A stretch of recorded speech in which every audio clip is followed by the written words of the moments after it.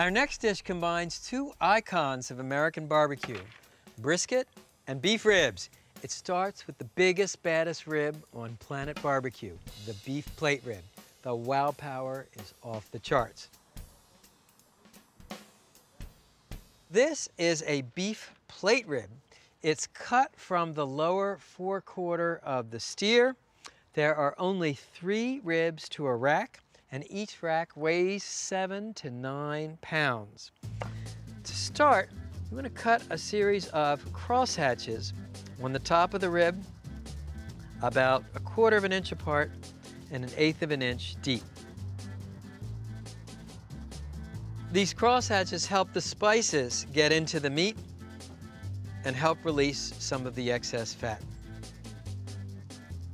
Now the next thing you want to do is turn the rib over and make a lengthwise slit down each bone through the membrane. This will help you remove the bones when the rib is cooked. Okay, and I'll do the other beef rib the same way. So where have beef plate ribs been all these years? I ate my first beef plate rib at Mighty Quinn's Barbecue in New York City. It's also a specialty at the famous Franklin's Barbecue in Austin, Texas, and Hometown Barbecue in Red Hook, Brooklyn. Once again, turn the beef rib over and make a lengthwise slit through the membrane along the bone on the back of the rib.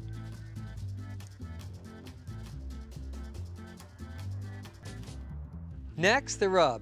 It couldn't be simpler. Equal parts sea salt, freshly ground or cracked black peppercorns, and hot pepper flakes. Mix the ingredients with your fingers. The idea is to keep the seasoning simple. This is really all about the smoke and the meat. Now sprinkle the ribs on both sides and rub the seasonings into the meat. That's why it's called a rub. Turn the bones over.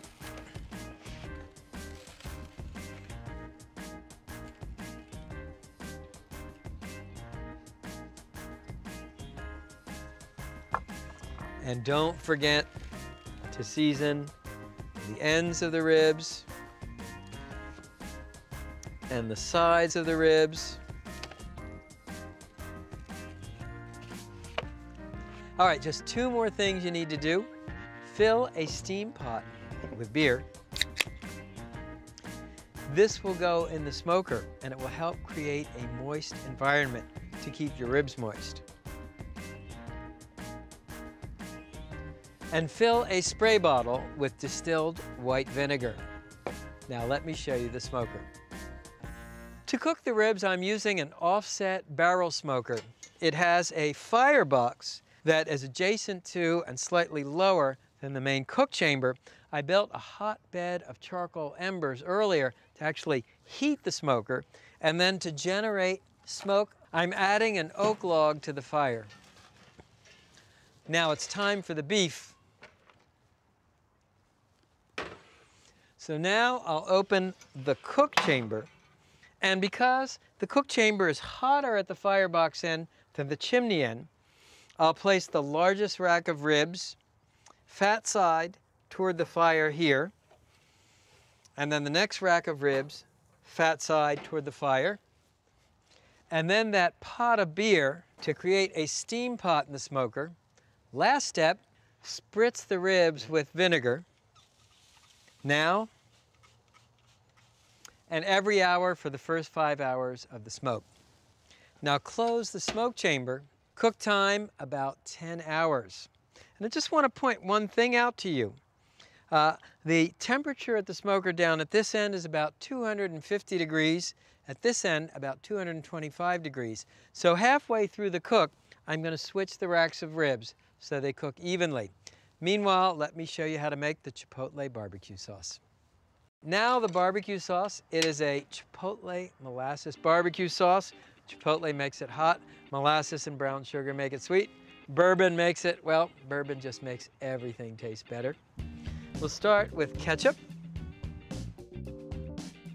brown sugar, molasses, which gives you sweetness, but also a kind of minerally earthy flavor. Then mustard for spice.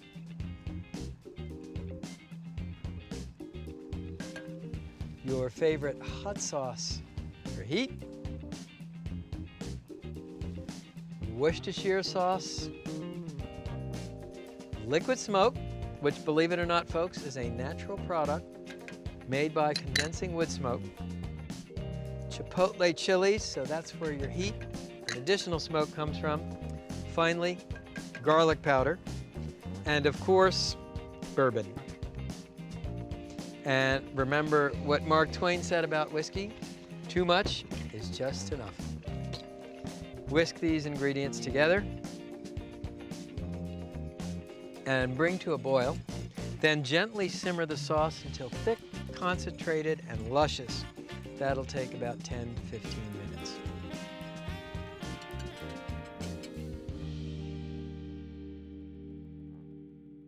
All right, it's been 10 hours.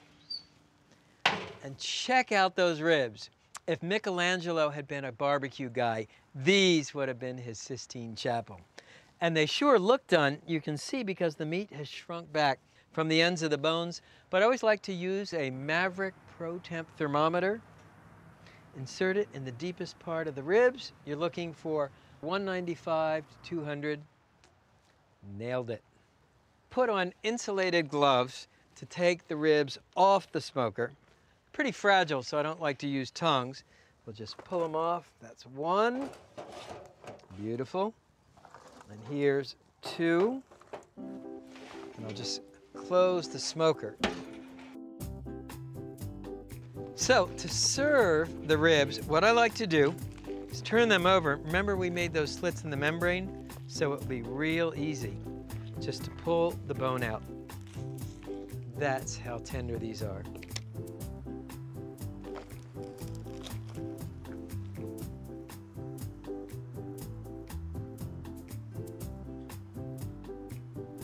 So to serve the beef ribs, I'll turn them over and you cut the ribs crosswise into slices. You slice it just like you would brisket.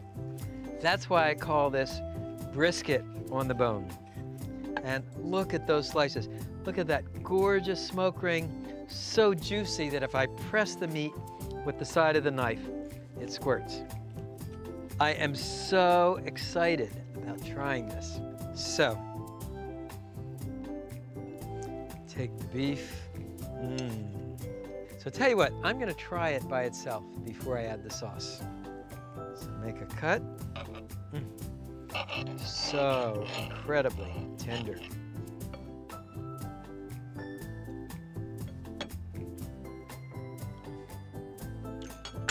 I hear the angels singing.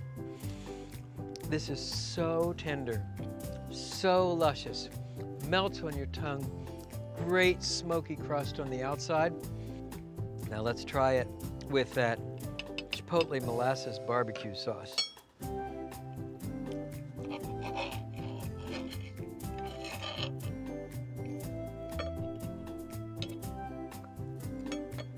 Hmm.